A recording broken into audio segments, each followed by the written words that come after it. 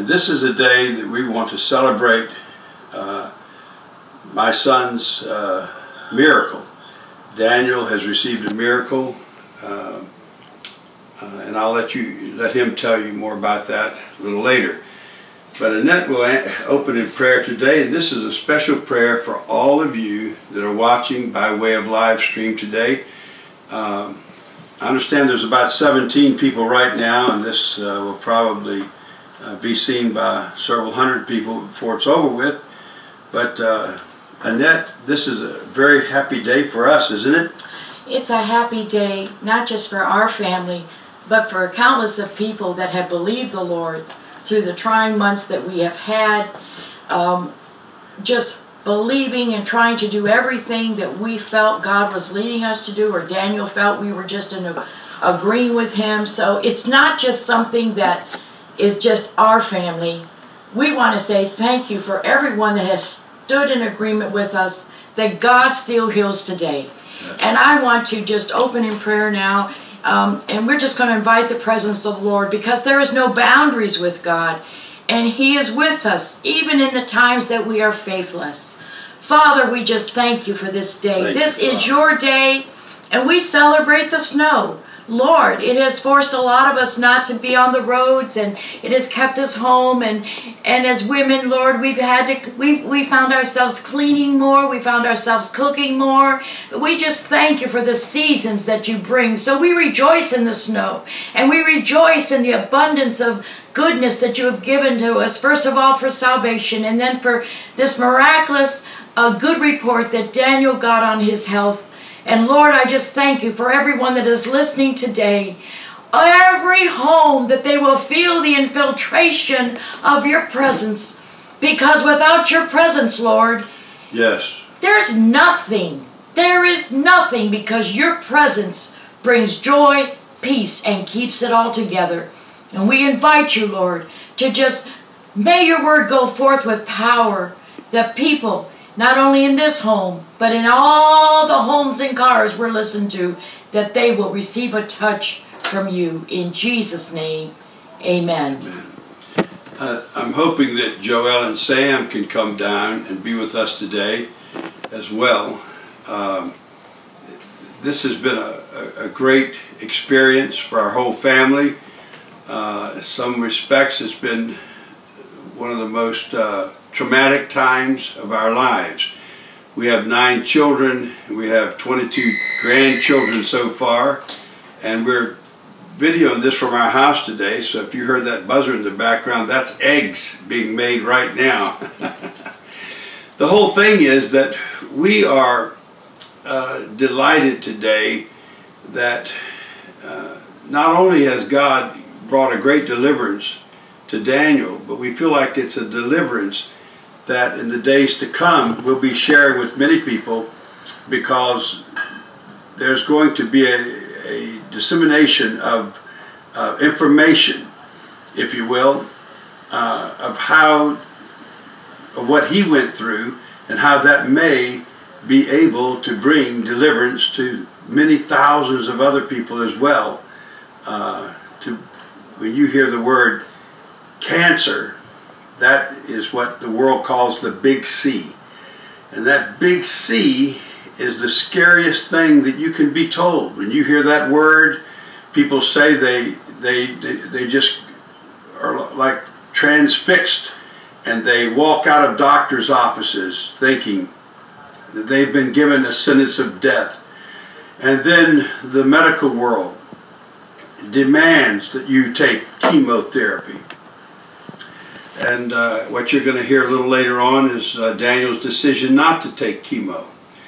And then you're going to, you know, even though that you're researching other things, that some people have gotten free from cancer by drinking certain things, juicing certain fruits, and doing certain things. Uh, it's always like, is it really going to work? But my son Daniel and Joel began to research some things that would, uh, and through that research, they found some keys and they've discovered things. And we're not going to be able to go into great detail today, on all of that. But in the days to come, we hope to be able to share with you step by step what they went through and what they've discovered. Uh, we were, I was in Nicaragua, Central America, and my son was uh, rushed to the hospital because he, his intestines were backed up, uh, and he, his stomach was dis distended. Is that the right word? And so Annette was there with him, and I'll never forget, I got this message from Annette. I finally was able to call from the bush, from the Mosquito Indian area of Nicaragua.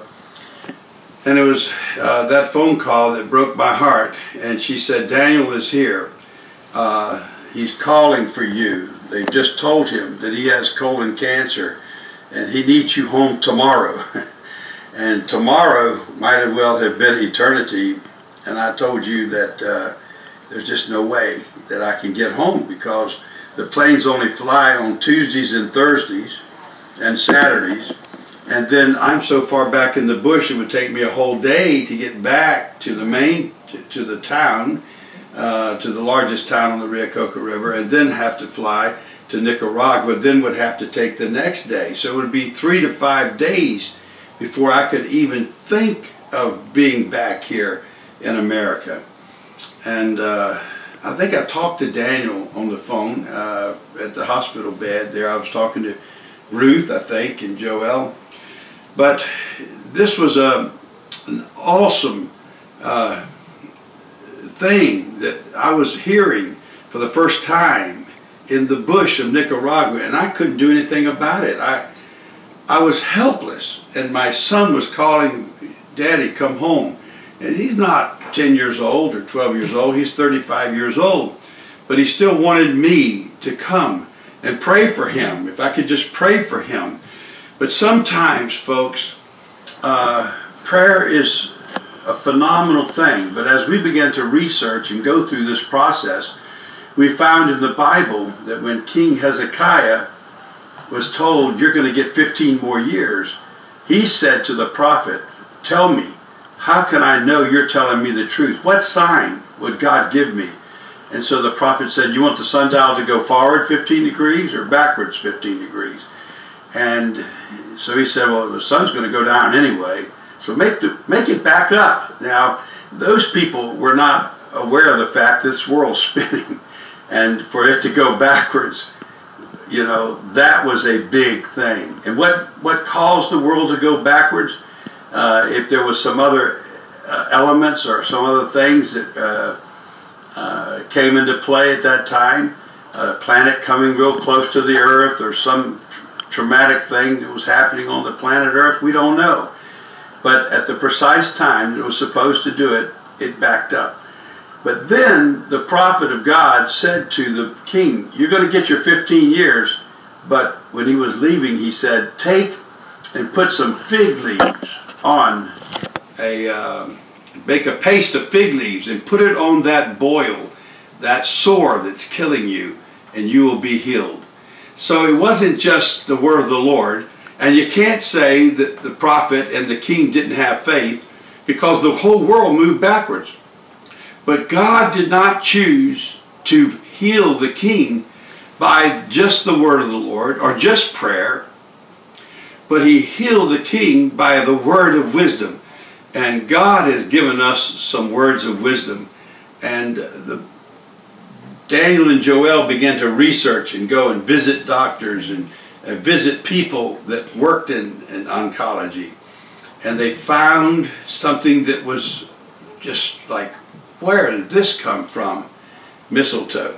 I think what I want to do is uh, bring Daniel in here now and let Daniel share uh, some of this process because I think, if, if I remember correctly, Daniel, you actually, you can stay here. Okay.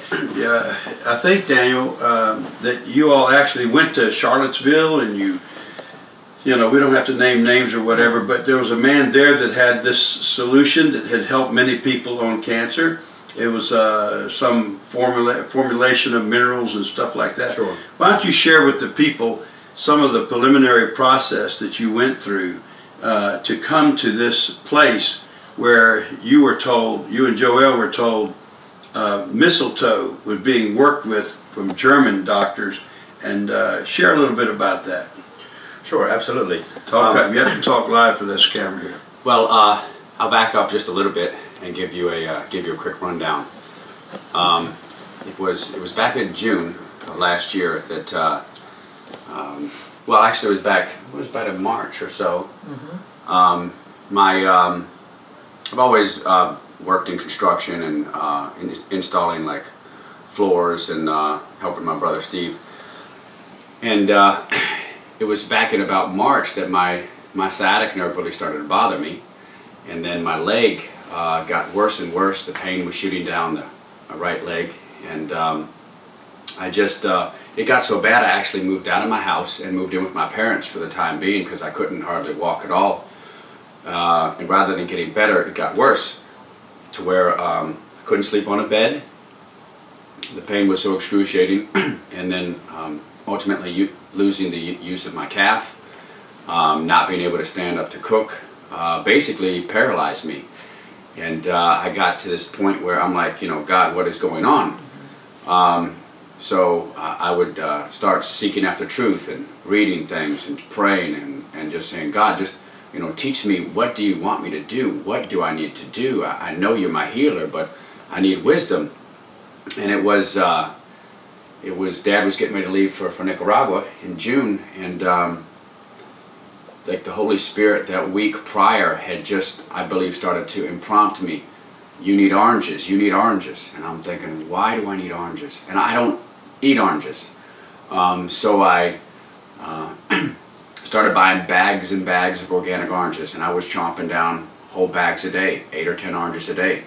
Um, it was the only thing that sort of seemed to help my leg a little bit, and then it'd get a little better, then a little worse. But when uh, when Dad left for Nicaragua that morning, he was leaving. I um, I was craving orange juice, and I drank a whole jug of orange juice that morning before Dad left. A big, big, brand new jug of orange juice.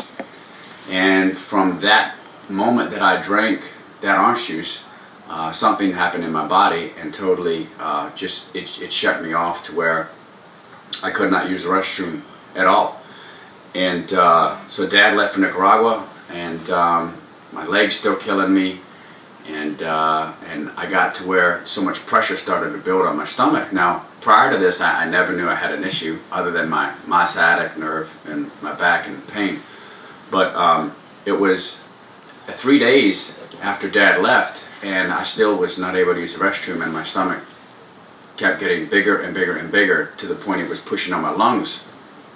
So, um, went in the hospital, uh, which mom had to pry me to go because I don't do doctors, I don't do hospitals. Uh, but I was, it was about 9.30, 10 o'clock, 10.30 at night, and uh, couldn't breathe. There was so much pressure uh, on my stomach and my chest. And so um, went to the hospital, and uh, I'm just thinking, you know, maybe I ate something, you know, that's, you know, stopping me up or whatnot. And so um, they asked a couple questions, the doctors did, and then, uh, then they took me back and did a, did a scan in my body. And then they came back and said, Mr. Bennett, you have colon cancer. There's a big colon blocking your whole, big uh, tumor blocking your whole colon off. And I was like, this cannot be. It looks like cancer. We don't know for sure yet, but it looks like cancer. And I said, I said, this cannot be. I said, this cannot be. And so they were about to do emergency surgery and put a uh, put a bag on my side. And uh, I'm just laying there in so much pain, and I'm thinking, God, this cannot be. So I asked the doctors, I said, is there anything else we can do? Can we wait? Because I believe God can do something. They said, well, if you can wait till morning, we'll see if we can get a stent put in uh, to give you enough passageway beside the tumor so you're able to use the restroom. I said, well, okay, let's, let's shoot for the morning. So I made it through the night with the pain, and um, that morning um, they were able to go in and uh, put a stent beside. And then they said to me, um, you know, you can wait a month or you can wait some time and think about it, but you really need to get this taken care of. And, um, you know, it's just like God just gave me the faith, you know. Um, if I had left there, I could have, you know, been operating in fear. But I said, you know what? Uh, let's go ahead and, and see what this joker is inside me. I said, I believe when the time the surgery comes, three days later, it won't be there. So I believed God, it wouldn't be there. And I believed God, it wouldn't be cancerous. And this whole time, I'm having to take pain medication, not for my stomach, but for my, my leg, because again, I couldn't even lay in the bed because I had been sleeping on the floor all the months prior. The whole thing of even being able to sit down, I haven't been able to sit uh, for almost eight months. But um, right after that happened, uh, I believed God that I wasn't going to have to have surgery, and uh, it wasn't going to be there. Trusted in the Lord. The time came. That damn devil was still in me. So I said, all right, God, you got me this far. Guess you're going to have to keep bringing me through this.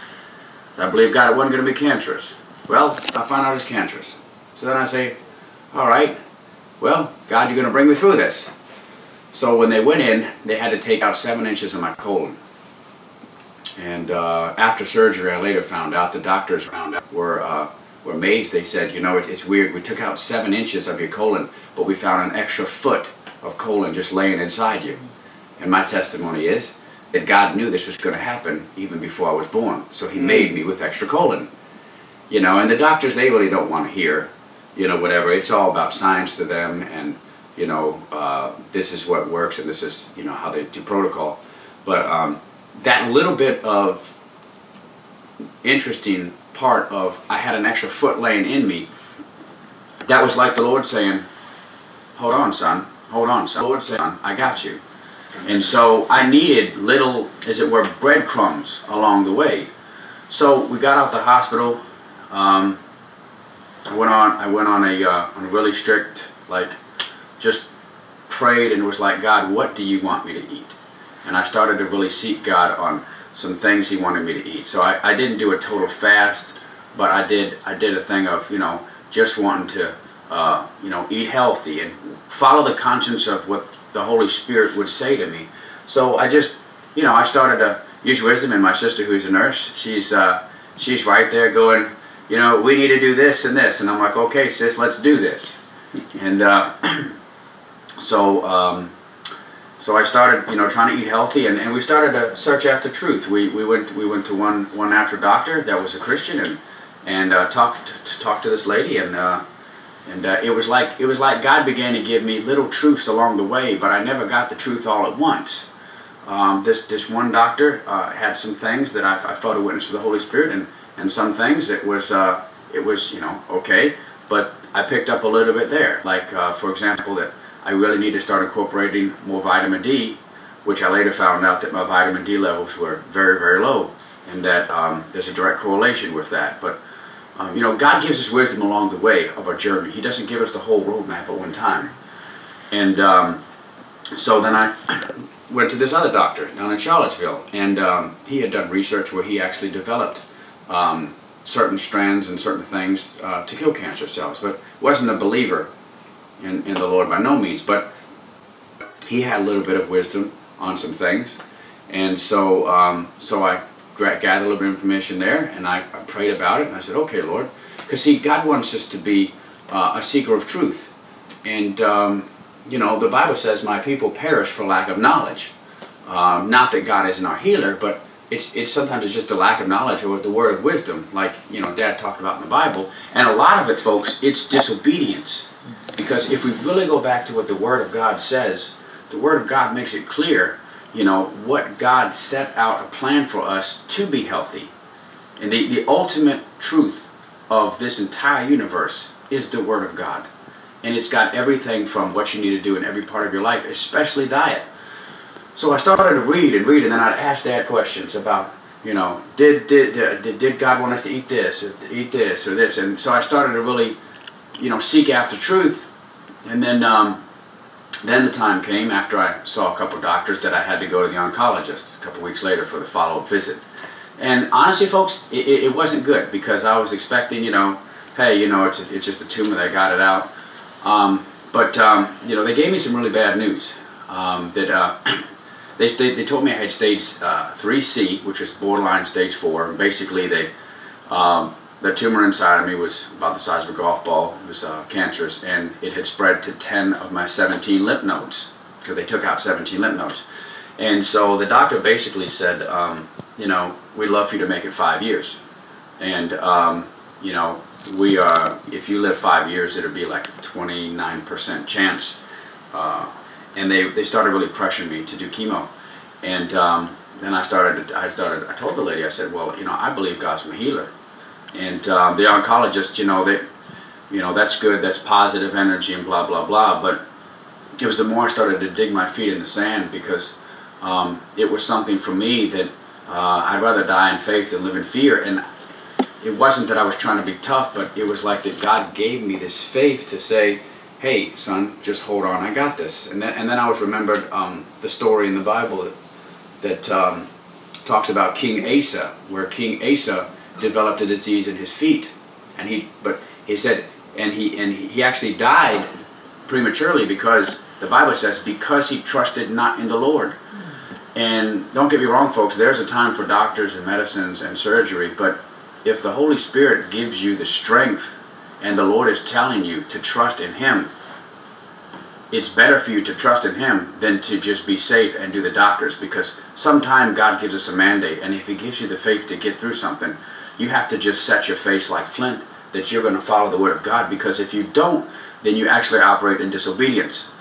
And so um, after I got, you know, the word from her, um, I asked her some questions, the, the oncologist lady, and she says, well, you know, there's a little bit better chance if we if we give you chemo, but because you're young and strong, we want to give you the maximum dose allowed by the FDA to maximum toxicity. And I'm like, well, Lord, that doesn't that doesn't sound good. Um, and They so actually, they actually bring you, what you were telling me, and Joel was telling me, they bring you to a point of death almost. They bring, they take and mess up all your immune system. Is that right? Yeah, yeah, That's it- the maximum. Yeah, the, ma- the maximum maximum dose allowed by the FDA would be, uh, it, it, it, it would have knocked me down regardless of how strong I was. And um, so I, uh, And then they rebuild the immune system back. They, they take it down to the basement and then they rebuild it back. But by that time, well, they, they, they take it down and they say, wish the best of luck.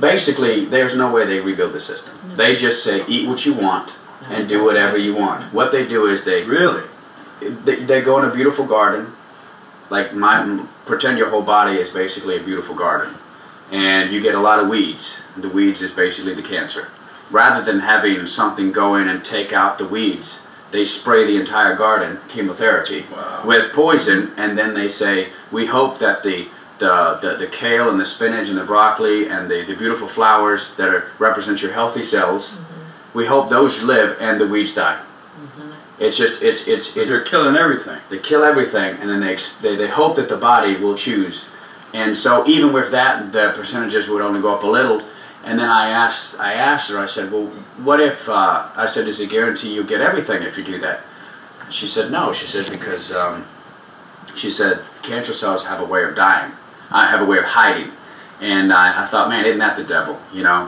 when he's under attack he'll hide and and re- regroup regroup to fight again and um, so I was like, well, that doesn't sound good. And and then and then the lady said to me, well, don't worry, don't worry. We're going to do this. We're going to get you going right away. And you know, she's being really nice to me, and, and she's a nice lady.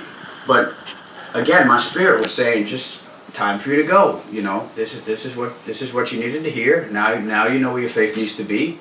And um, then I said I said, okay, well, let me ask you a question. Let's say that you do apparently quote unquote get it all. I said, um, isn't it true that uh, it comes back after chemotherapy? Because my immune system would be so weak. And she put her head down and she said, well, yes, that's true. And she said, well, if that happens, we'll just do it again. We'll give you the maximum dose again. We'll get it knocked out.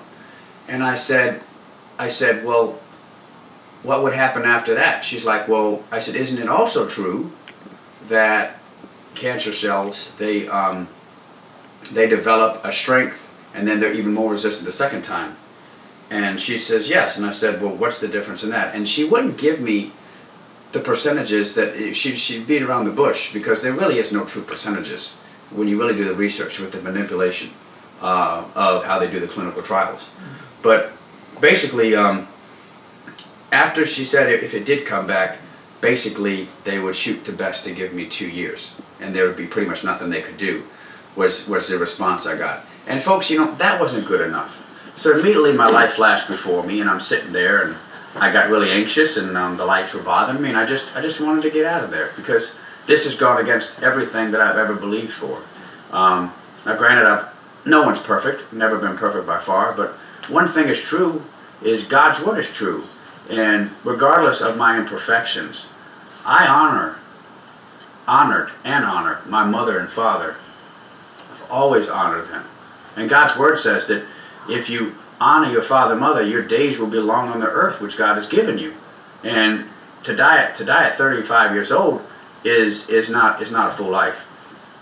And so um, so I left that oncologist, and I and I and I dug my face in the sand and I began to seek God more. And I'm like, God, you got to speak to me because this is not happening. And um, then we met with a second oncologist who was very reputable in the Richmond area, and they basically got very frustrated with me. And when I started to ask more questions, because I started to seek after truth, I started to I started to really read and and and, and really really read the Bible, and then I, would re I'd read the clinical trials and different things to see what truth was. So I had more questions to ask the second oncologist. And the second oncologist basically gave me some numbers, but then also um, backed up on a few things and then got quite frustrated with me because I'm making a very big uh, wrong decision not to do chemo, and this is the only truth. And, and I asked him, I said, well, if you knew of anything else, would you be allowed to tell me? And he would not answer the question. He's, he said to me, he said, well, that's not the point. The point is that there's never any other trials been done with any proof at all. And I said, well, no. I said, answer the question, please. Would you be allowed to? And he would never answer me. And so it was that point I knew it was time to leave. So I asked the magic question. I said, does diet have anything to do with health? And both the oncologists said, no, absolutely not. Eat what you want. And I know that's a lie because God's word is true about what you should eat and what you shouldn't eat. So I said, well, thank you very much, and uh, we'll, we'll, be, we'll be back in touch. And um, so I think I needed these bad things to be said to me to really dig my face and set my set my faith for what I believe God wanted me to do. So, um, you know, after that, I'm still trusting in the Lord. And there's one major bad thing I have going on is the fact that you know I still I still don't feel that strong, and my leg was still not getting better. And it was uh, it was just really just interceding. Every time a person would ask, "How are you doing? You doing? You doing? You doing better?" And I I I would say I'm getting stronger every day. This was in, within the first two months after you had had the cancer taken out. Yeah, right. Yeah, yeah, yeah, yeah. You finally found some things that were hopeful. As yeah. far as that that person in Charlottesville, Virginia, went over there and they had this drink or whatever, but you somehow shied away from that after a period of time. Yeah, it was like it was almost like when, when God leads you to do something, what He might lead you to do today might not be the same tomorrow. There, there's no one fix all.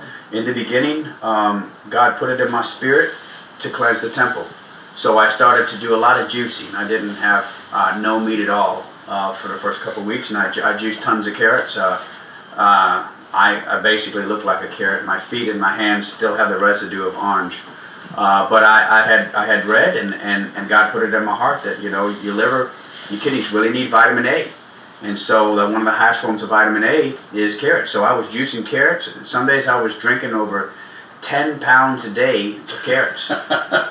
you know, and then and then it's like the Lord would say to me, okay, now it's time for you to add in, you know, a little bit of chicken or some you, eggs. You find out there was a difference between a cancer cell and a regular cell as far as the number of receptors. Sure, sure, sure. So so so um, there is one thing I've learned is that people that have that have beaten cancer naturally and not done chemo of any sort, almost every single one that I've read on were people that really trusted in the Lord. Trust in the they Lord. trusted in the Lord because it's obedience, folks. It, it goes down to obedience is better than sacrifice. And um, so one of the things that I learned was that uh, a healthy cell, when the sugar, when you eat a piece of bread, the, the nutrients go in your body uh, forms like you know sugars or glucose or whatever.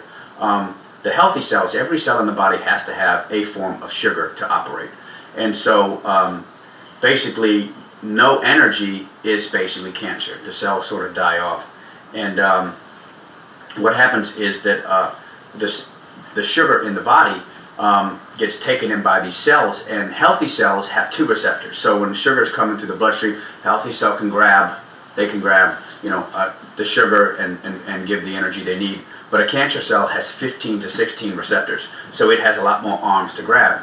and so it, it's basically like sucking the blessing right out of right out of your life uh, with what you eat.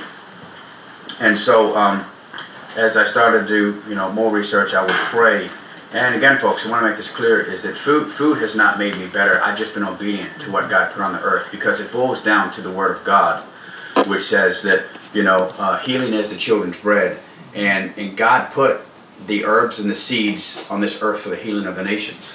Some people describe, uh, I know that, I think without faith in God, none of this works anyway, because doctors have admitted that only God can heal. Yeah, exactly. You can eat anything you want to eat. You can eat oranges and apples all day long. But if God does not have your body in the right position, you'll never receive the vitamins and minerals. Mm-hmm. And the, the, the biggest killer of all is unforgiveness and not having your heart right with the Lord. That's the secret equation that makes it work. I, I, I, I beyond a shadow of a doubt, is that bitterness in your heart, if your heart's not right, doesn't matter what you eat. You know, it, it really doesn't. The Bible says a merry heart doeth good like a medicine, but a broken spirit drieth the bones. So these, the reason that uh, carrot juice has been so effective, uh, I remember in the in the '60s reading a book on a person that said they they were they said their body was eat up with cancer, and they went on a 40-day fast and only drank carrot juice for 40 days, and the cancer uh, receded and totally went out of their body. They lived for many, many years after that. So the reason that that, the, the medical reason that that might have something to do with it is that carrot juice is so filled with nutrients and yeah well but see that again is that that was the word of the lord for him because of his body makeup and where he was at with his you know his pH levels and things. Because the Holy Spirit, the Bible says that you need not that no man teach you, for the Holy Spirit will teach you all things. And so carrot juice is what he needed to do. I couldn't do 40 days of carrot juice. The Lord led me for a couple weeks, but I had to add some protein and some different things in my diet as the Holy Spirit led me. But these cancer cells would have like 15 receptors, and they would grab that carrot juice and bring it in, and then the carrot juice, the nutrients in the carrot juice has been known to destroy some cancers. Sure, for a period of time, but then but then it can also get to a point where you know it can be it can be it can be a negative. It, it, there's there's no like one one fix all. there there's a cleansing stage, you know, and then there's times that God wants us to fast. So um, you know, but carrot juice was was right for me for that time, and then um, you know, and then you incorporate. But it's it's really you know, it goes back down to you got to be you got to be obedient. You got to be led by the Lord. If today God God is speaking to you to do a certain thing, if, if today God is saying to you that you need to call up someone and ask them for forgiveness, you need to do it, or you need you or you need to forgive somebody. So, little truths with the food, but it goes it goes also back to God's word about what He wants you to eat, and what He wants you to drink, and what He wants you to do. And so there's a lot of little things. Uh, there are people that have, that have, that have sworn against that they've they've been healed by uh, anything from grape juice mm-hmm. many years ago. Um, and then there was one. Uh, you, have done a lot of studying about yeah. different testimonies yeah. of people. Yeah. Jo- Johanna Budwig, back in the 1950s, a German doctor. She was a like a master, uh, um, this masterful doctor of chemistry and, and food and nutrition and uh, she was helping uh, people with um, with cottage cheese and flaxseed oil uh, that won their deathbed. Now that might have been truth for them, yeah. but you know, as the Holy Spirit would lead me, I I, I would have some cottage cheese and flaxseed oil in. But it, but again, I never put my faith in the food. I only said, Lord, I'm going to be obedient what I feel you want me to eat. But it's your but it's, you have to heal me, God, because food is not my healer. Right. But I have to do my part and be obedient. Um, otherwise, God's not going to go against His word. Right. So then, when did you find out about this mistletoe and explain that to people? Well, um, there was a lady in um, in Maryland um, who just loved the Lord, and uh, my sister had come across a research that she had had um, done mistletoe, and basically it is a um, it's um, it's like the mistletoe, you know, having mm -hmm. the trees and um, stand under the mistletoe and you get a kiss, right? Yeah, something like that. So um, yeah, so basically, um, it's it's it's something that the German doctor's been doing for years, and it's it's it's basically just keeps your immune system strong. Um, So it's a poison, but when you take it, it boosts your immune system. Yeah, it's so mistletoe in a natural form is, is extremely poisonous. But um, if you if you can if you can take small doses, it's almost like um, if you're a uh, if you if you want to get immune to a snake bite, you uh, you get a little dose of the snake poison, then your body develops an immunity to it.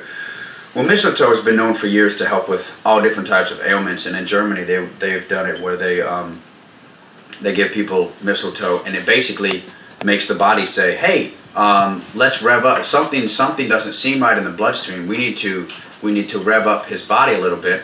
Um, and, and it gives you like it makes your makes your killer cells or your immune system wake up a little bit.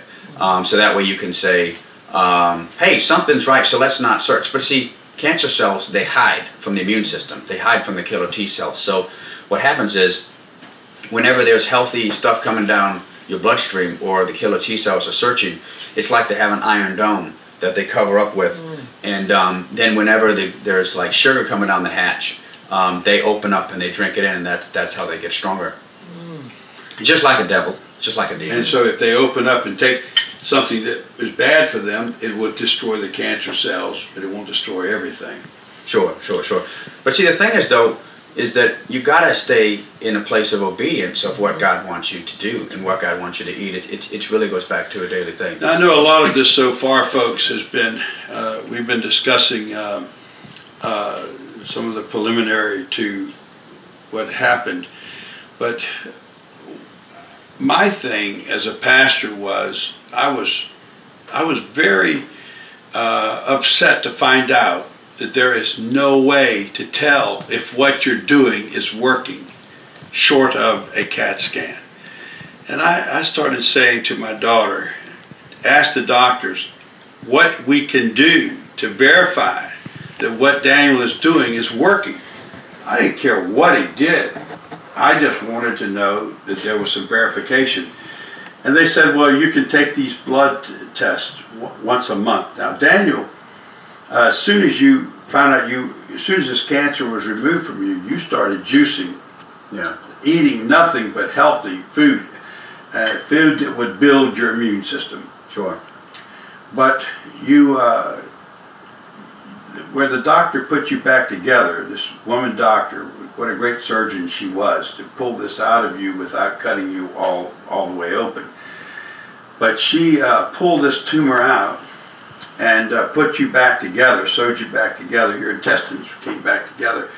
And they, they, they really insisted that you do a colonoscopy, which is putting a camera into your uh, intestines to verify there's no more polyps, no more growths or anything like that.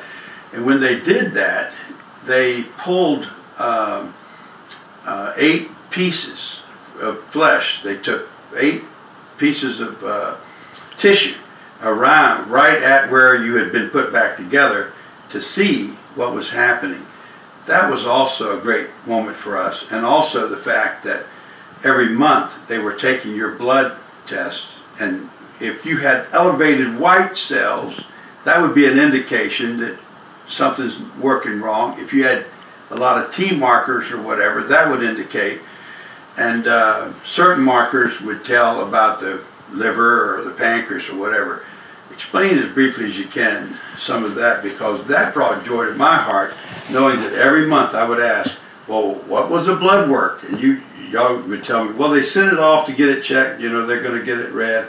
And then about a week later, I'd find out that your your blood work was phenomenal, and that was that was very encouraging to us as well. Sure, sure. So about every six weeks, um, I was getting my blood done just to monitor my progress.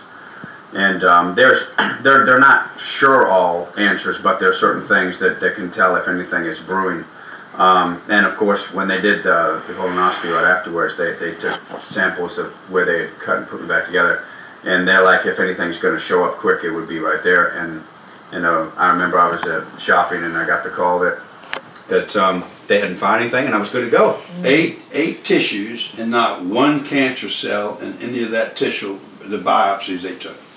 Absolutely. And and you know, I had to start setting my faith for when when they said that. when I got the call uh, that uh, hey everything looks good, um, instead of being in shock and awe, I had to start setting my faith. Well, of course it is good because God's word is true, and I had to really start being a bulldog because I knew that um, there was a bigger road ahead of me than just that, and so. Um, um, the uh, one of the things that right after I had done that, I, had to find an, another oncologist that would really follow me. So the people, um, the lady uh, that that started this this organization um, for the mistletoe, uh, it's just a, it's a great organization. She she loved the Lord. Now let me give you a background on what happened to her. She had one lymph node. She had colon cancer like me. She's a little bit older than me, maybe four or five years older than me. She had one lymph node um, that had had uh, cancer in it. So she had like, I guess it was uh, the beginning stages of colon cancer. It really was not um, like mine. She had one lymph node. I had 10 that, that had cancer in it. And um, so she took and um, she did the little treatments and three months later, when she went back, it had gone from the lowest stage to full-blown stage four in her liver in three months, just from that one lymph node. And then she was a God-fearing woman, and she started to really pray and seek the Lord, and, and she started to find out different answers, and that's what the Lord led her was to mistletoe um, to help her out. And so she had gone out to Colorado and done the mistletoe therapy, and then um, she actually helped develop um, this this whole organization. And to she help- said, I'll help you. Yeah, yeah, yeah. She so helps you she actually helped sponsor me to help pay for some of the uh, some of the mistletoe uh, treatments down there. But praise God, she's um, I think she's going on ten plus years, uh, you know, cancer free. They had to, they, I think they had to remove um, some of um, some of some of her liver, um, and they had to do some you know some other things. But but God, God, God has brought her through this. So I took a little bit of, of wisdom from that. Now, when I when I went to uh, later to John Hopkins um, to see the oncologist there, that was her oncologist. Uh, I wasn't really accepted there at first, but I got an appointment, and I, w- I was blessed to meet this doctor. And um, and he actually told me, he said, um, he said, he said, you need to know something. He said, you need to know something right now. He, he said, we're past the door of the window. What's happened's happened. If you were going to do chemo, you should have gotten it in the first six to eight weeks. We're past that door. So what's happened's happened. Nothing we can do to change it. You need to just go ahead. He says, I'm proud of you. Your, your blood work's looking good. Keep doing what you're doing. Keep trying to eat as healthy as you can. And, you know, and he, he told me he was proud of me. And so I knew at that point that this was a doctor that wasn't, you know, helping on chemo, but he was very, um, you know, he was encouraging to me. And so he said, come back in, uh, in a couple months and we're going to do the CT scan here. He said, you come to Baltimore and we'll get it done here. So it was at that point I said, okay. I said, okay. So, you know, I had, I had to do with that. Uh, you know, what's happened's happened. But that's in the medical field. But see, with, with God, it doesn't matter. There's no time with God. And all, all things are possible to them that believe. So the medical you, was looking good, but you had to keep bringing yourself back to the fact that Jesus is your healer. That the word, the word of the Lord is your sustainer, you know. It has to be. It has to be. Because the moment I, the, if the moment I put myself in anything that I do in the physical realm, then that is being glorified and not God. So you're, you're, uh, the reason that the oncologist from John Hopkins wanted to see you is that something unusual happened when you went to Colorado and they were doing this mistletoe drip every day. Uh, they were shocked at what happened to you because when you first got this word, you must have started doing all the right things physically. Yeah, I mean, it it, it would had to been the Holy Spirit leading me on what to do. Um, I just, first day I got to Colorado, they gave me the lowest dose of mistletoe, and there's never a reaction. Uh, they look for like um, a fever or a rash, so it's, it, it, there's really no side effects. It's basically just an, an immune immune system. A one degree increase in your temperature. Yeah, or yeah, or, Or or sometimes people get really bad. But there was people in the clinic where I was getting um, this immune um, immunotherapy of mistletoe that they were on ten vials more than me, and they still will not getting the So they drip one vial, and then if that doesn't, the next day they may drip one and a half, Yeah. and the next day they may drip two, Yeah, yeah. until they find out the stage that it takes for your body to get a one degree fever to know that it's working. Sure, sure. And on the first day, on the lowest dose, I was talking to the doctor, and I just, uh, I think she was, you know, asking me certain questions, and I said, Doc, I said, I think it hit me. And uh, I got a fever the first day on the lowest dose. And the doctors were amazed. The doctor said, "Go get the nurse. Go get the nurse." So they went and got the nurse, and they're like, "I don't, I don't think you couldn't get a reaction that fast." And they checked me, and sure enough, I had a, a 99.8 fever. And they're like, "Wow, this is amazing. This is wonderful." And I said, "I said, well, praise God. I said, God's already healed me. My immune system's already strong." but for the sake of for the sake of obedience, and my, my sister and different ones really wanted me to follow through, mm-hmm. I went ahead and you know, Did 21 days, it was about it was about two weeks. I stayed out there oh, two, two Yeah. weeks. Two weeks of that, and then you know they they would different things like them. They'd give me like a vitamin C or some different things like that. But um, I got to a place where even then, even then, you have to remember, folks, the stories are not that much. It's worked with some people. It's worked with not, um, and so your face has to be set like flint, no matter what. That God has to be my healer. He has to. He has to bring me. He has to bring me through this, and I'm I'm doing everything in my power of obedience. Be- Because remember, um, mistletoe doesn't kill cancer at all. Mistletoe is nothing more than Does it something. Boost your immune system. Sometimes, or sometimes it makes it worse. Oh, It- really? It, yeah, it, it, it depends because if your body, some people have bad reactions and can't get it. So um, it, it just, uh, it's something that, you know, I felt peace about it and we went out and did it. Um, and um, so I, I got, when I got back, I still kept seeking truth and I still kept asking God. I said, God, is there, what else, what else? It, uh, I kept going back to Genesis, different parts of the Bible. It talked about, you know, God has given us the plants and the herbs and the seeds, seed bearing nation. So um, I started to do research, and then I and then I found another major truth that was um, apricot seeds, um, and not just apricot seeds in general, but you know, uh, the fruit. You know, it's it's it's life, and from the beginning of time, Satan has tried to pervert the seed. He, he's always tried to change the seed. He's tried to destroy the seed, the seed of God, Jesus Christ. And, and so it boils down to life. And today you see foods that are GMO. They don't even have seeds in them. And the seeds that they do have in them are so toxic that it basically puts holes in the intestines, in the line of your intestines. Wow. So, so as I started to read, I was like, okay, God, I said, I want to eat how you want me to eat. And then I, I, I did a lot of research and found that um, there are people that lack a certain vitamin called vitamin B17. And so I said, God, no one's ever tested it. I don't know if they have a test for it, but but I'm going to be obedient. So if you're eating an apple and you feel led to eat some apple seeds, eat some apple seeds. Um, but the vitamin B17 found in an apricot seed, I felt like the Lord said, you know, take these in faith like you eat an apricot. And so, I mean, it wouldn't hurt. They're they're, they're bitter, but I went ahead and I and I, You I ate them, those. and they are really bitter. Yeah, they're nasty. They look just like an almond. Yeah. But when you and you start when I started chewing, I put three or four in my mouth, and you said you looked at me, you were laughing, Yeah. and I said, "This tastes just like an almond." Yeah. And for about three minutes, it tasted like an almond, and then it got bitter. Yeah. It's unbelievable. So you you learned about apricot seeds, and you read stories about how people had just done apricot seeds. Yeah. God led them to do that, and they were made totally whole. Yeah, uh, again, not 100%, but being led by the Lord. And, you know, you have to remember, again, it goes back to the Bible says, My people perish for lack of knowledge, not for lack of God's power. Mm-hmm. It is, there's really two things it's either lack of God's knowledge or lack of obedience to the Word of God. Hmm. It's, it's, it's, it's about obedience. And I believe that one of the reasons why that I, I had this issue is because I was not obedient to the Word of God years ago. There were things in my life that were not right, and there was also um, not only uh, in areas of my life that I was living in sin, but also there was there was areas of life I was living in sin in the realm of my diet. And you know, Yeah. you know, God made it clear the unclean meats are not good for you. And there was a time I ate, I was on this one uh, diet where I ate eggs and cheese and milk and a ton of bacon. Bacon, bacon, bacon for months and months and months. And so, could that have played a factor?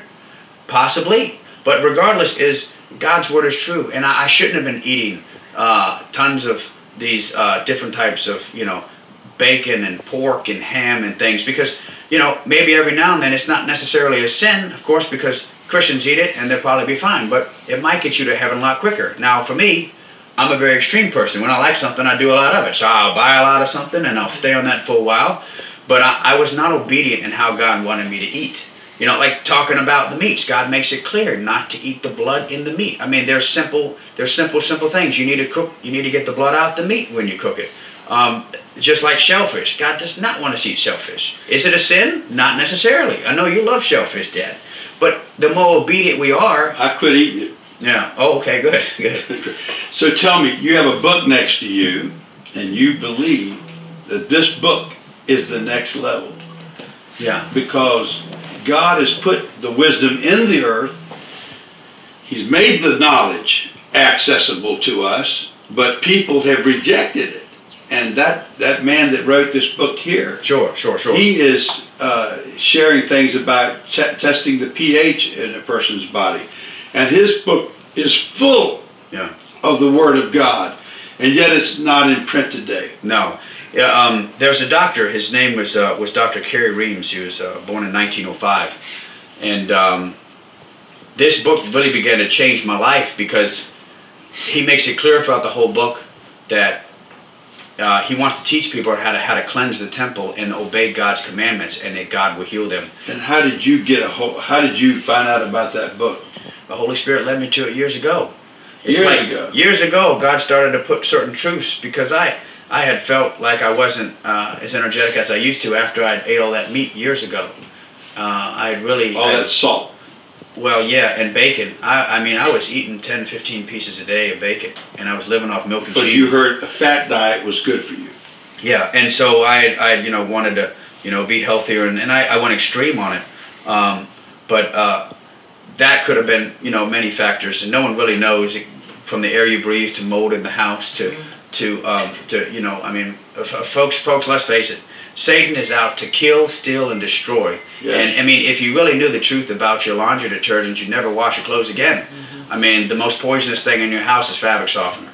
Uh, and so basically, not to go on a tangent, but if you have bad laundry detergent, you're wearing your cancer. It just depends which one you're choosing that day. Mm. Um, so, but again, not to live in fear, but my people perish for lack of knowledge.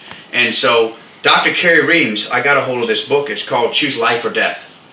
And the reason why I like this book so much is because Dr. Reams was not a doctor in the beginning. He was a, he was such a God-fearing man, and uh, he was known in the community uh, as being the Moses of health.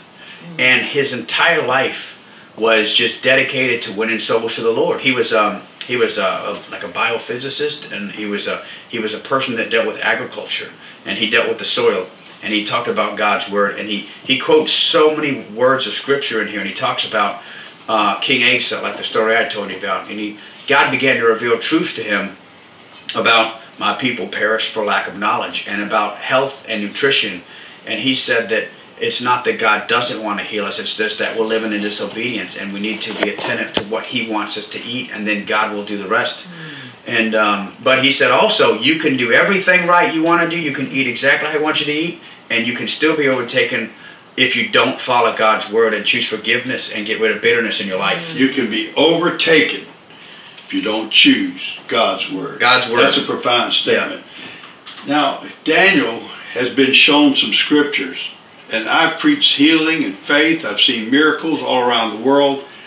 Uh, but a sustained miracle, a miracle that doesn't happen instantaneously, uh, requires sustained faith.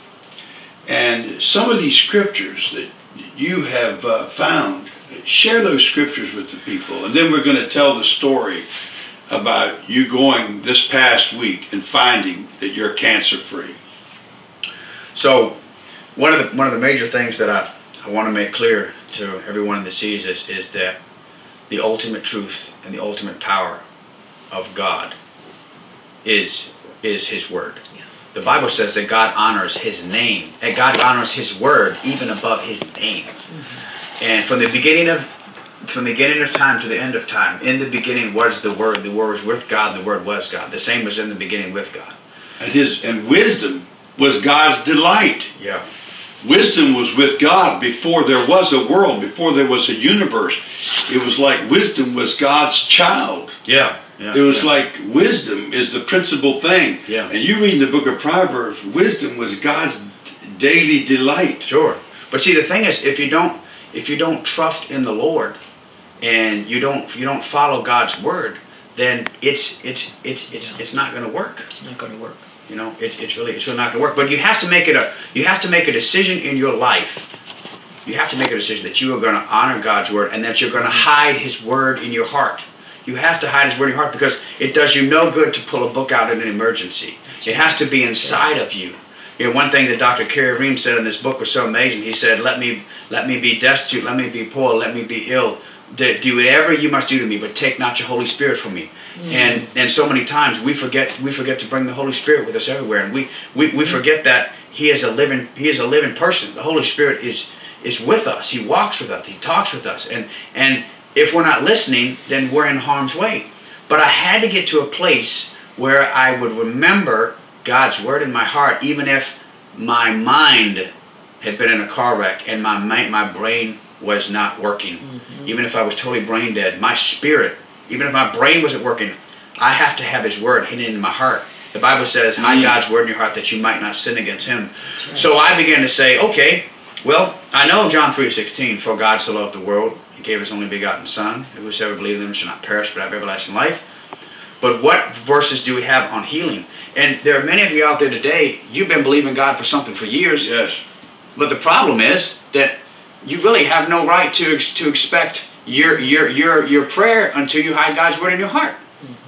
Because you know you have to you if you're believing for finances, then you need to find finance scriptures and hide that word in your heart and be able to quote that word at the drop of a hat.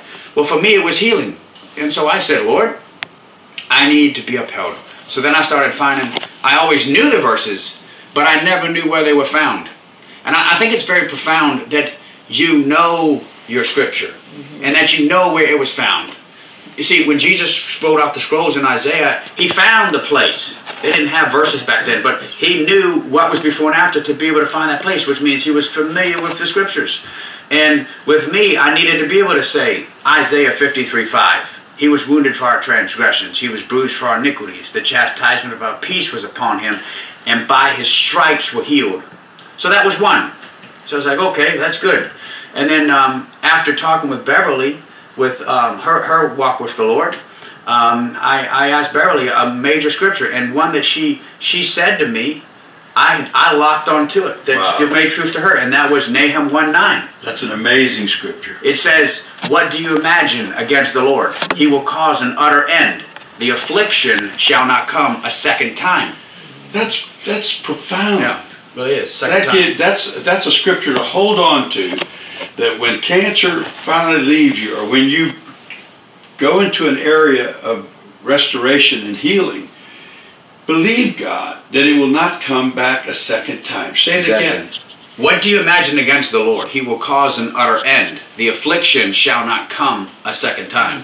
So that was another one. But then you get to the point of okay, you're believing, but now what about other everybody else is believing for you? And what about people that are going to feel bad for you or feel worried for you? And then um, this minister years ago had told me a verse that I locked on two years ago. It was Psalms 119, what 116, which says, "Uphold me according unto thy word, that I may live, and let me not be ashamed of my hope." Wow. So I needed to hold on to that. That I'm not ashamed. See, many people they don't they don't speak because they don't want. It's like, oh, I'm doing good, but I don't want to piss Satan off because, pardon my French, but you know, the Bible says the man that pisseth against the wall. As far as I'm concerned, you know, Satan is nothing more than a, a little piss ant, and he has no respect in the kingdom. I mean, you know, the, the founder of Christ for the Nations said that it's never wrong to pray a violent prayer every day. And some people they they really put uh, so much fear in Satan that they don't want to proclaim God is my healer, Exactly. lest they be ashamed when if it comes back, or, Exactly. if, it, or if they die of it or whatever. But see, the Bible says that we overcame him, Satan, by the blood of the Lamb and by the word of our testimony. See, I had to get to a place where it really doesn't matter what the doctors say because either God's word is true or it's a lie. Now, I can't have that boldness if I'm not if I'm not living in faith and I'm not living according to his word because the Bible also says that if your heart condemns you not, then you have confidence towards God. See, my heart doesn't condemn me. I'm, I'm not saying I'm perfect. I'm not saying that uh, I'm better than anyone, but what the Holy Spirit brings to me every day, I make sure it's under the blood and that it's right. And every day my heart does not condemn me. So if I'm not living in sin and my heart doesn't condemn me, or if I do something wrong, I'm quick to ask for forgiveness, my heart doesn't condemn me. There's no open door for sin. So my heart condemns me not. So I have confidence towards God. And you know, Dad, you preached years ago, it really boils down to a covenant. It's a covenant. And two days prior, before I was going to go get all this done, I'd, I'd, come in the living room and you'd be, I don't know if you remember, you'd be on the couch and I'd say, I'd say, Dad, I said, His word is forever written in heaven. And I'd say that to you? Yeah. And then I'd say, it's about a covenant, Dad. And then I said to you, what's mine is His and what's His is mine. Mm. And basically what's God, what, what, what God has for me is for me and all I have belongs to Him. And when you can get to that place where you are yielded to the Holy Spirit, you, you can, folks, you can pray all day long. You can have every famous major minister pray for you all day long, but it's not their faith that's going to heal you because the Word says it's according unto your faith. But even then, you can have all the faith in the world and you can be living in disobedience and God is not going to go against His Word. So this this that happened this week, you went you had to go in for a CAT scan, and I did not know all the emotional and all of the different steps of faith you were going through. But when you crawled into that CAT scan machine, did anybody crawl in there with you? Yeah. Okay, so that day I went to do the CAT scan. The Lord had been preparing me um, to do the CAT scan, and this was two days prior before I'd have to go to John Hopkins to to get the results. So talk about agony, man! Satan can really put mess with you with fear. Um, but God, God was preparing me. God was really preparing me, and I, um, I. The worst part about it was having to drink this nasty drink. So I started drinking this drink, and I'm thinking, oh God, this is this is not healthy for you. You know, you got a radiation drink. I don't know exactly what it is. It's got some stuff in it that I know I've heard from a lot of people. It's, it's not healthy. But I, I, I said I, I start I found scripture immediately as I was drinking the drink. I found scripture. Um, Luke Luke 16, um, 16, 17, 18, 19. It, that, that whole batch of scriptures is one of the last things Jesus said before he rose up into heaven, which has got to be one of the most powerful things. If the last things he said on earth, they must be the most powerful things. So one, it said that, um, you know, I tread on serpents and scorpions. If you drink any deadly thing, it will not harm you. You lay hands on the sick, you know, and the sick will recover. And then he descended into heaven. So I said, God, I said, I'm going to drink this, and it, I know in the natural it's, it's bad, but it is not going to harm me. And, and I drank it. I drank the first bottle, and then there was a little bit of time to pass by before I have to drink another one, like 30 or 45 minutes later. So we, um, me and mom walked next door to the Martins, and I'm like, I'm going to get some fruit. I'm going to get some fruit and some different things that see what this Martins has up here. And uh, so we walked in there, and I'm just, I'm thinking, man, I got to drink another drink, and then I got to get in this machine. I got in this machine, and I, I don't like needles, folks. I don't like, I don't do doctors. I don't do needles. I, I can't even swallow pills. I'm learning how. It's me and the medical thing is, you know, uh, it's just, it's really hard for me. And uh, so, um, as walking out of the Martins, uh, I prayed and I said, Oh, Holy Spirit, I need your help. And I was carrying the bags. I had my book bag on and I was carrying the bags of groceries. And I felt the Holy Spirit come and wrap his arms around me. It felt like a person cloaked me. And I just dropped my shoulders down and I'm like, There you are. Thank you, God. I Hallelujah. Felt, I felt him come upon me. But I hadn't felt it prior to the whole week. I mean, I've been seeking God, but it's like it's like he came and then I put the groceries in the car. Then I went in the room and uh, uh, started to drink the second drink, and I'm drinking the drink, and this, you know, there's people sitting next to me all around, and um, I looked at one lady and I said, you know what? I said, I don't know why, but God wants me to tell you that He's with you. And she began to preach to me. She said, Amen. I received that. She says, you know, God had Luke as one of his disciples. And I didn't know, but Luke was a doctor. Right. And so, um, so that was a little special. And then um, I drank the other drink, and then I sat next to a guy that told me he had had cancer, and they had to build him a whole new bladder and, and a whole things. Mm-hmm. And then I told him my testimony about how well I didn't do chemo, and I'm trusting the Lord, and they're going to find no cancer. God's healed me, and I'm eating a steak tonight. See, I had to come to a place where You hadn't had a steak for six months. no, you have you have to believe that you have received. You can't believe to Yeah. get something. And I had to, I had to say from the time I got out the hospital after I found out that I that I had cancer, that uh, I had it, and God had healed me. Right. And and every time I spoke to all my friends, they would ask, "How you doing? What's the latest results?" Well, God's healed me of cancer. This is what the doctors are going to find. They're going to find nothing. Mm -hmm. And then I'm going to eat a steak and a, and a big cookie that night. So I and then my, my friends would like wait and they'd be like, "Okay, well, we want to celebrate with you, you know, after you get out." And I'd be like, "Okay, well, this is what I'm going to do." It was like a celebration. Even if I didn't totally believe it at that time, I had to come to grips with the fact that I must believe that I have received. Yeah. And uh, yeah, so so once I got to that place So you where crawled into that machine yeah, I crawled in the machine. and they did their thing. Yeah. Well, when I got in the machine, And they wouldn't tell you anything. That was so fresh. no, yeah. Before before I had um, be, be, before that they, they finished it, um, before they put the the, the thing in to get you hot, the, the, the dye that gets you hot, they were doing measurements. So they went in and out like this to do measurements, and it was at that point that um, I felt the Holy Spirit come. I felt the Holy Spirit come right at that machine. It was amazing. It was like it was like I felt God lay on top of me, and I've never felt so much electricity in my life. Every every cell of my body was just exuberating with the power of God, and I just began to pray in the Spirit and speak in tongues. And I said, "Oh, thank you, Jesus," and I said, "God is with me, and I thank you right now that as the machine is going in and out, they're going to find nothing." And I just believe that I have received, and I saw what I wanted to see, and that was no cancer got out the machine, I went home. And then even then it was harder because that was on Wednesday. Mm-hmm. And you know, of course the the results and what are they going to say? Mm-hmm. And my heart started to analyze like are the nurses looking at you funny? Whoever read the report, are they pitying you? Are they being happy with you? Are they being sad with you? All these emotions are going through my brain. And I said, you know what? Damn the devil. I said, God's word is forever settled in heaven. Yes. And I, I set my face like flint. And I said to myself, I really don't care what the doctors say. I'm healed. And Joelle gets this report somehow, and she reads a little, sneaks a little peek at it, and it says something about nodules. Well, well what happened was is we did the scan Wednesday. And um, it was Friday, me and Joelle were going to drive up Friday morning to Baltimore.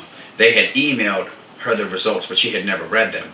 But while we were in while we were in the hospital in the waiting room in John Hopkins, right right before we were going to go in, she had had like a quick peek.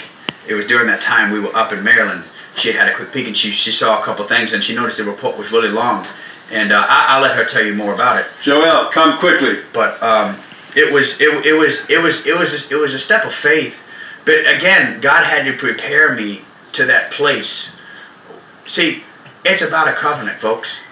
And you have to keep telling yourself, but if I had not hid God's word in my heart, then I wouldn't have anything to stand on.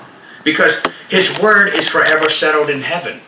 And at the end of the day, it's God's word. And I knew that I had done what I needed to do in the natural to be obedient to him. You know, whether it was eat, eat some apple seeds or apricot seeds or, or, or juice fruits or vegetables or, or what have you. But I, I had to come to a place where I had to believe in the Lord with all my heart and not worry mm-hmm. regardless of whatever the doctors would say. Mm-hmm. And that, that's where it came down to, Dad, because if I had gone to Baltimore worrying what they were going to say, then that whole drive home would have been miserable if it had been bad. Mm-hmm. Or, or I, I would have based my faith and my fear off of what the doctors have said. But God made it made made me have so much faith inside that I set my face like flint. If they say something bad, fine.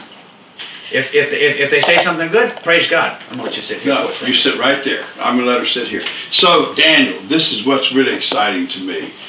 Joelle's up there, and she takes a little peek, and all she reads is there's a few nodules in people's lungs, you know, in, in your lungs. Are you gonna sit right there? Yeah. Can we get her in the picture there? Okay, okay. And so this is my daughter Joelle. She's a registered nurse. And uh, so you heard Daniel, and I haven't even talked to you about this, Joelle, but I know it must have been hard for you when Daniel's telling everybody, I'm today they're going to find out there's no cancer in my body. And you're cringing the whole time. Every time he's testifying to people, it's like you got to be dying a thousand deaths because he's getting ready to have the big letdown. Is that right? Tell him. Tell yeah, it just in my mind was screaming, "Stop talking! Stop talking. Oh, It was killing it's you. not looking good." I had not known that she had even taken a peek, though. yeah. I hadn't known. So he was there witnessing to everybody. I mean, telling. Telling everyone about Jesus, and He I sits down there with the doctors and he says, God's healed me. He's like, because you had made up your mind, Daniel. It didn't matter what the result was. You weren't going to embrace any negative result. And if, even if it's a good result, you're not going to be surprised about it because your faith has to work both ways. How can you be exuberant that, Exactly. you know, you, you got to be happy Yeah. when the report comes back there's no cancer, but you true faith says, of course the report said that, right? Yeah. You, you had to bring yourself, explain that a little bit. Yeah, well, you know, for one, the more we were driving up, the more I got to thinking. I was like, I was like, man, what are we doing? I was like, sis, me and Joelle are driving up there by ourselves to Baltimore. It's three and a half hour drive, and then there's traffic, and then it might snow, and and These are the two researchers. Yeah. They were going everywhere trying to find what we need to know to beat this thing, you know. the truth, the truth. What you know, my people perish for lack of knowledge. God's power is true the same today, yesterday, and forever. But it's it's our job to do due diligence. And so with Joelle, I was thinking, I was like, this, I, I told her after, I was like, what were we thinking? We went up there by ourselves. What if we had both been a mess, a, a, a, a mental wreck? We had not been able to drive home. it's a long drive, especially with traffic. And um, All the way to Baltimore to Yeah. get to just to Yeah. get this thing read. I had not known. We got in the nurses' station. Joy, t- tell tell exactly what you what you saw happened with um, like you had read you had read a little bit and give a little bit about what you- what you felt. I had just uh, three hours before the doctor's appointment.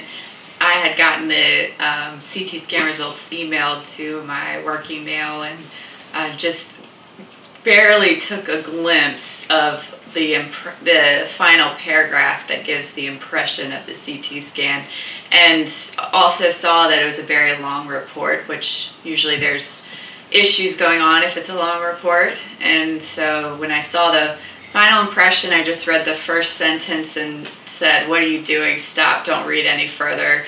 And all I saw was um, that there were several pulmonary nodules. Uh, Pulmonary mean in the lungs. lung, yeah, nodules in the lungs, um, and Just nodules. yeah, And we come we, we when we I came didn't know home what last that night. meant. I wasn't doing. I didn't. I didn't read any further. If I had read the whole report, I would have seen that it was totally fine and normal. But, um, but just read that little bit, and my heart sank, and had to keep a smile on my face for the next three hours and act like I never knew. everything was She did good. okay She did and uh, just you know you have all those thoughts racing through your mind of well you know it could have already been there and now this growth is plateauing and maybe it's going to start shrinking with everything that daniel's doing but just just had a lot of fear in my mind for those three hours and i was by myself And all you can hear is Daniel saying, I'm healed. Mm-hmm. And God's this report's gonna show it. He's mm-hmm. telling I was everybody. quoting scripture to the, the nurse that was taking my blood. I was quote because here's the thing. Even though I set my face like flint, I had to keep reminding myself God's word is true, and the only thing I have to stand on is God's word is true. And so the He's nurse covenant God. Yeah, I was in covenant with him, and so when I got my blood taken, I, I, I was just quoting whatever came to my spirit, and I, I, I, quoted.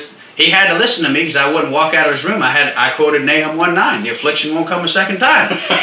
you know, so and and and so still not knowing that Joelle had seen anything, we, we finally got called back, and it was it was cruciating because it was like we were supposed to be in and out by two thirty. They called me at two fifteen, but they hadn't taken my blood yet, and Joelle had gone to the bathroom, and then they're like, "Go sit back down." It wasn't until till later on, like a thirty minutes to an hour later, that we actually got uh, got the blood done, and then it was like an hour to an hour and a half before we actually got to go back. And so that was longer than normal. And then we got this long drive home, just me and her, and she's got this little worry in her heart. She did good. She hid it from me good, and I think it's a good thing she did. Yeah. But I, I just uh, so we get back there and and um, the nurse is like, I can't get it to download. The the um, the, pre- the the assistant to the to the main oncologist A was like, CD, they made a CD of your CAT scan. They couldn't get it. they couldn't they couldn't he didn't see if something didn't seem right, and then Joelle tried to forward it, and still it wasn't going through because she didn't have signal back there. So she's walking in and out trying to forward and get signal. Then she's like showing him a phone, and it was just it was it was horrible. And then, then the, we hadn't still seen the doctor, and the nurse practitioner was like. This and this and this and this and and so we just were like waiting and waiting. And she's like, "Well, while we're waiting for the doctor to get on the table, and let me let me check her. So she checked, you know, my lungs and my face and everything, and and then Joelle sitting in the chair, and then she the doctor uh, the nurse walks out, and I, I see like Joelle gets a little stressed, and, and and that's the first time I'd seen her get stressed, and I, and I looked at her and I said, sis, I said I said it's I said it's fine, I said God's already spoken to me. His word is forever settled in heaven, and God has healed me. So I really don't care what the doctors say. Let's hurry and listen to this, what they say. Let's get out of here. Let's get it over with, and then we're gonna go home and have a good night. It really does not matter what they say. What did you think when he said that to you? I just felt such a relief. Yeah. She You was felt worried a- about me. You felt a relief. He's going to be okay. I may fall apart, but he's going to be fine. Yeah. But I, I was worried for her because we were driving home, you know. But, but but I had to set my I had to set my faith like flint, and I'm not I'm not bragging or boasting because here's the thing: in the natural, I don't think there's any person that is strong enough to not worry. Was your about- heart sinking when he kept, when, when the doctor kept looking at him and saying, "You look fine. You look fine." What did you Yeah, think? before of we got the results, the doctor the doctor came in. They didn't say anything right away, did She they? was like, "It sounds like your CT is gonna look great because you sound like you're feeling great," and I'm just like, "It's gonna be horrible."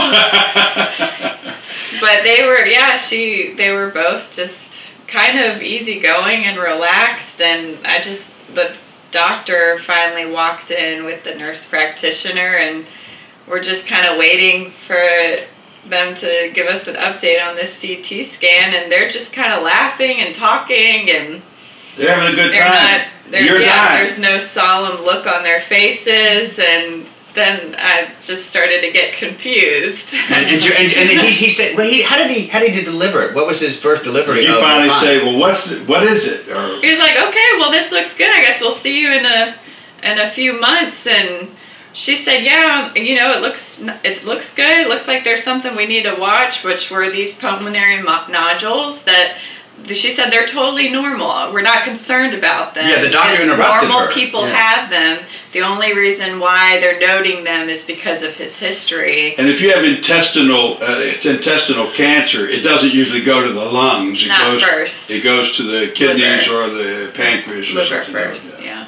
So, and, and I just interrupted them at that point, and I said, "Whoa! So you're saying that this CT scan is completely normal?" And they're like, "Yes, it looks great." Yeah, she, she, she was like, well, wait a second. Could they find any cancer cells? Did you did you ever ask him that? There, yeah, there, there was no growths of anything Yeah, in his nothing, body. nothing. Nothing. Yeah, because it shocked Joelle because she was she was like this. And he goes, "Wait a second, so you mean?" And she, she interrupted the doctor. She's like, she went she put her hands out like this. Wait a second, so everything's fine. And then and then when he said good to go, I was like, "Well, great, doc. Can I give you a hug?" I gave I gave the doctor a hug, gave the nurse a hug. I'm like, "Praise God!" And then I got to share the Lord with the doctors. I told them, I said that you know I've been believing God to heal me. You know, and uh, and that my family comes from a long line of missionaries, and we've been trusting in the Lord, and God God really made it real to me not to do chemo, but trust in Him. So every chance I got, I try to get a lick in. Joelle will tell you, it might be awkward, but people got to listen to me. One guy in the waiting room, I started telling him about the Lord, and he didn't want to hear it. Like, he he wouldn't even make eye contact. I said, I said, I looked at him. I said, God is good, God is good. like that, and I took away, and he'd be like, he was like this all the time. But he wouldn't look at me. He wasn't mad at me, but I made him feel comfortable. And I said, I said, guess what? God's healed me of cancer. They're gonna find that out today. That's right on, man. And then he, he ended up moving one chair down. But but and I, I did get to talk to one lady, and and uh, when we were leaving, and um, she had said that she had be- been believing God. She had just found out she had pancreatic can- pancreatic cancer, and she was believing God that um, she did, she wasn't going to do chemo. And I, I, I, got to share a little bit with her uh, about the Lord and, and, what God, had God had made real to me. And, um, you know, he overcame the devil by the blood of the Lamb and by the word of your testimony. You know, like my grandpa used to say when we was young years ago, I, I preached in service a while back, if at first you don't succeed, keep on sucking till you do succeed. Even if you don't believe something, you got to get to a place you're going to say it till you blue in the face. Even if you don't believe it, you need to say it until you do believe it. And God had to bring me to that place, you know. I'm on my radio talk show at 3:55. I get this message: no cancer, not a single cancer cell in my body. And uh, when I got that, I shouted on the radio. I finished my sentence and I said, "I've got." Breaking news, folks. This is the happiest day of my life. My son that was dead is alive. You know, because this the big C. And then people, I said, call in and let's praise God. And the phone lit up. We've never had so many phone calls in such a short period of time. And one of our friends called called in, uh, didn't call in, texted in, and said, the big C because I talked about the when people get the can, you know, they say they're diagnosed for cancer. They have this big C, you know, cancer's like a big, terrible C. And she said, the big C is Christ and Him crucified. Mm-hmm. And that's how we want to end this thing today. Next Sunday, we're going to share a very shortened version of this at Joy Fellowship Church. Amen and Joe and uh, Ruthie is going to share a little bit. Ruth and uh, kneel right down behind here. Ruthie had to be a part of the beginning of this process when she said to her boss, she just said, "I'm not going to work. I'm staying here." She stayed with you day and night, night and day, and uh, she kept you pumped up and she kept agreeing with you, and you were up there prophesying. Tell, to all the nurses and the doctors, everybody came in. God is my healer. God is my healer. and we pray, played um, the whole time, all night long. We played. Uh, we had three songs, three songs that we just played all night long. One was "I Believe God's My Healer." And um, so all night while we were sleeping, I'd get up and I'd make sure my music was going for us. And we prayed and prayed and prayed. And the Holy Spirit God the Father, Jesus, they were in the room with us mm. in that hospital. And I would call in from Nicaragua because my trip had just begun when all of this happened, and they were in victory uh, because he had an extra foot in his colon, and, and there were so many signs along the way. But next Sunday, Daniel's going to be singing, I Believe You're My Healer.